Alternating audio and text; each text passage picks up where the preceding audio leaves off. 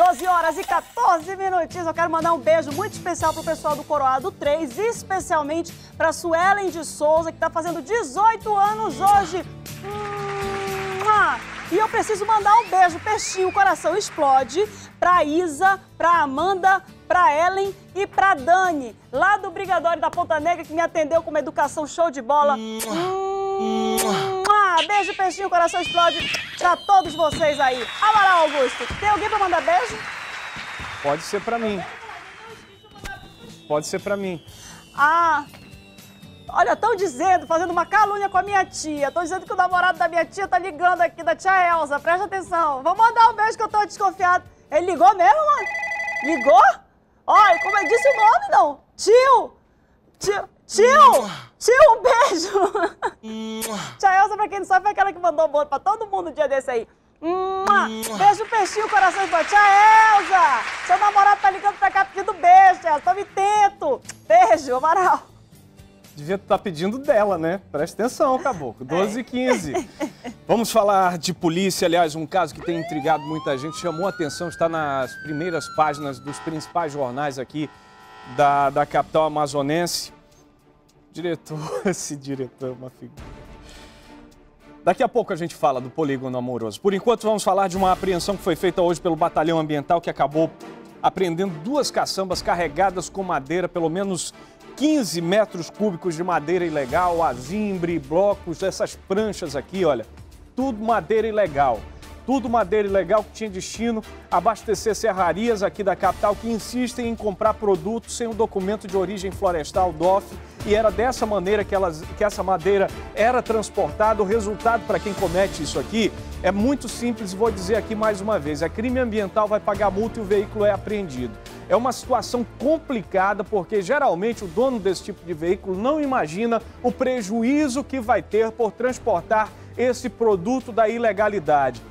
Onde é que isso acontece? Geralmente, meu amigo, é aqui na APA do Rio Negro. Área de proteção ambiental que o caboclo chega lá, oferece 40 reais numa árvore, derruba, serra, coloca no caminhão e vem para Manaus abastecer de maneira ilegal as serrarias. E se isso acontece, é exatamente porque não tem fiscalização nas serrarias. Se tivesse, não tinha como abastecer um mercado clandestino como esse. Resultado é que o Batalhão Ambiental está de olho e fez mais essa apreensão, Márcia Lasmar. Pois é, Amaral, a gente precisa ter esse cuidado de fazer essa fiscalização e de principalmente denunciar, viu? Porque às vezes esses caminhões andam por ruas que o batalhão ambiental não consegue identificar. E aí, por causa disso, é que nós também temos nossa obrigação de fazer as denúncias. O que importa é que é menos madeira aí que vai ser vendida ilegalmente e foi apreendida pelo batalhão ambiental. São 12 horas e 17 minutos, Amaral.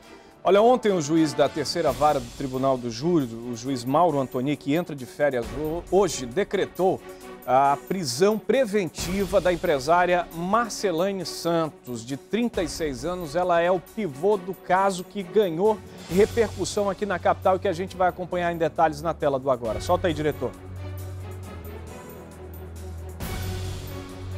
Tá pronto, diretor? Pode ser a Marquinhos logo atualizando esse caso. Marquinhos Pereira ao vivo. Marquinhos Pereira ao vivo, 12 horas e 17 minutos, fala com a gente por telefone, atualizando o caso. O quarto integrante está sendo apresentado nesse momento ou está sendo ouvido, Marquinhos? Boa tarde para você.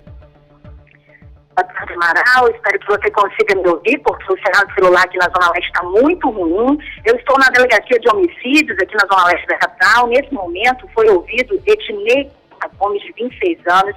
Ele é vigilante e é acusado de ter feito a ponte entre a Marcelane e os pistoleiros. Foi ele quem teria passado o número dos pistoleiros para que ele fosse, então, é, para que o crime, então, viesse a acontecer. Aqui ao meu lado está o delegado Paulo Martins, que investiga esse caso. Nós estamos ao vivo por telefone no programa agora.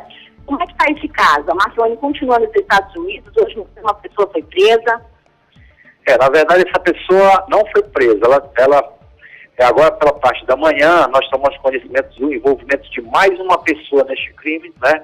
Ela foi muito ruim o sinal de celular, né? Infelizmente a gente perdeu contato com a Marquinhos Pereira. A gente estava ouvindo nesse momento o delegado Paulo Martins, da especializada em homicídios e sequestros que investiga o caso. A gente tem aqui na tela a fotografia deste homem que é acusado está dentro desse inquérito policial como aquele que fez a ponte entre a Marcelane e os pistoleiros, Márcia Lasmar. Ontem a gente apresentou aqui que foram presos aí o, o Salsicha, o McDonald's e, o, e, a Karen. São os primeiros três envolvidos nesse, nesse, nessa tentativa de homicídio que foi praticada aí por essas pessoas. Esse era o quarto integrante aí que estava sendo esperado para ser ouvido, o quarto suspeito, e ainda tem mais uma pessoa. O fato é que a Marcelane acabou contratando essas pessoas por 7 mil reais para matar ou aleijar. Veja você, a Denise, que está bem, já prestou também esclarecimento. Tudo isso porque supostamente as duas mantinham um relacionamento amoroso com um empresário conhecido aí por Marcos Souto. Ele nega essas informações, disse que não tinha nenhum relacionamento com as duas, mas tudo indica que sim. A Marcelane está nos Estados Unidos, foi para lá.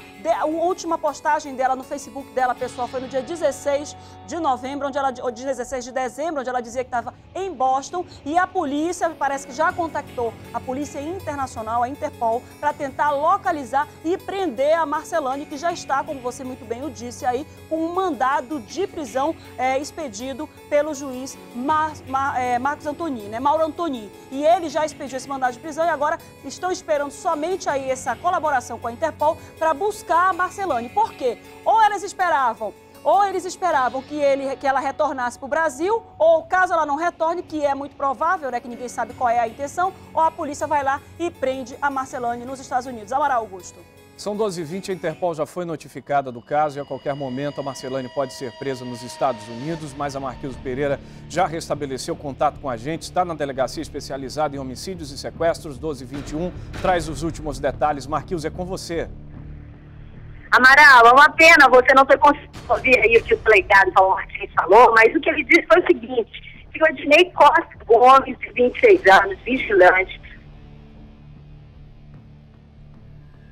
como está ruim né, a ligação. São 12h21, Ednei Costa Gomes, o vigilante, está aqui, ele está sendo ouvido, deve ser também indiciado nesse inquérito policial que investiga essa tentativa de homicídio gerada a partir de um polígono amoroso. Imagine só, as duas mulheres envolvidas neste caso aqui são casadas, o empresário que é ali o, o pivô dessa intriga também é casado, a gente tem várias pessoas em um relacionamento duplo e que traz aí uma tentativa de homicídio que partiu de uma mandante. A mandante é a Marcelane, já existe um mandado de prisão preventiva contra ela. A Interpol já foi notificada. Se ela passar em qualquer um dos aeroportos dos Estados Unidos com a intenção de viajar, deve ser detida e encaminhada para o Brasil. Márcia Lasmar. Amaral, a gente fica se questionando aqui, toda a redação comenta, como todo mundo da cidade está comentando esse caso. Uma mulher bonita, as duas mulheres extremamente bonitas, casadas, podiam aí ter uma vida tranquila, mas não, resolveram aí se meter numa confusão danada com a Marcelane, que é casada também, que acabou sendo a mandante desse, dessa tentativa de homicídio contra a Denise. Realmente é uma tristeza, porque não tem outro fim. Ou ela se entrega, ou então ela vai ser presa de qualquer jeito e vai ter que responder é, um processo por tentativa de homicídio. Amaral? Rapaz, o amor é um negócio complicado. Esse tipo de amor aí eu não quero para mim, não, viu? 12 22, vamos mudar de assunto. Vamos falar de amor de verdade aquele que é exercitado dia a dia, fazendo o bem, né? So, é, executando a solidariedade, a caridade, que são formas de apresentar-se em amor para as pessoas que realmente necessitam, pois ontem à noite teve gente dando lição de amor e os detalhes a gente acompanha aqui na tela. Solta aí, diretor! Uma fila se formou para aproveitar o banquete montado na Manaus Moderna. Tudo oferecido para quem passa o ano literalmente esquecido na sarjeta. E claro, eles aproveitaram. É bom para os amigos que estão passando fome, tem muita gente que não tem, não tem condições de comprar um prato de comida aí é bom para ajudar, né, mano? A iniciativa de oferecer esse Natal antecipado é desse pastor. O projeto existe há quatro anos. O objetivo é resgatar vidas. É para demonstrar para esse povo que está aqui o ano todo na rua, jogado, que eles são amados por Deus e que há uma possibilidade deles sair dessa vida. É um sinalzinho do nosso amor e Deus já tem mudado, muita gente já tem saído da rua e nós estamos aqui nosso intuito maior é levar esse povo a conhecer o grande amor de Deus. As missionárias da igreja servir aos necessitados. E é uma alegria imensa ver essas pessoas gratas por receber uma comida que a gente faz com muito carinho, com muito amor. Todo o alimento oferecido veio de doações. No total, cerca de 100 pessoas foram alimentadas. Que bacana, hein, Marcela Asmar? E não acaba por aí. Ontem foi realizado o segundo Natal das Emoções lá no Parque do Idoso, uma programação já muito especial que a gente também abre espaço para acompanhar no Agora. Solta aí, diretor. A festa foi em comemoração ao Natal, mas em vez de Papai Noel, já deu para perceber que foram os palhaços que roubaram a cena por aqui. E os idosos entraram no clima. Para participar do evento, seu Ilair, de 84 anos, caprichou na fantasia. Caráter de palhaço. no palco, muita animação. O circo foi a forma de contar o verdadeiro significado do Natal. Em cena, um palhaço sorridente e feliz, que de repente perde a alegria. Em seguida, um anjo aparece e mostra a ele que o Natal é uma data alegre, pois representa o nascimento de Cristo. Conhecidos pela irreverência, é claro que na última festa do ano não poderia faltar muita alegria e música para essas pessoas. O coral dos idosos mostrou afinação. Fazer parte da festa em celebração a um dia tão importante como o Natal significa muito para eles. Estou muito feliz em estar aqui participando dessa festa. E quem veio prestigiar gostou do que viu. Todo animado, música, comentário, tá muito lindo, gostei. Ao todo, 400 idosos participaram do evento. O objetivo é, é, é confraternizar os idosos com seus familiares, com, com os idosos da Fundação Dr. Thomas, os usuários do Parque do idoso, funcionários, todos. É, enquanto o Natal se aproxima, eles mostram como celebrar essa data com carisma e alegria. 12h26, amanhã rapidinho, seu Carlinhos também participa do Jantar da Fazenda da Esperança, na frente da Igreja dos Remédios, um jantar solidário para as pessoas de rua. Um Feliz Natal para todo mundo, porque eu vou estar de folga semana que vem, mas no Ano Novo a gente está aqui. Muito bem, obrigado pela audiência. Beijo, gente, até, até segunda. segunda.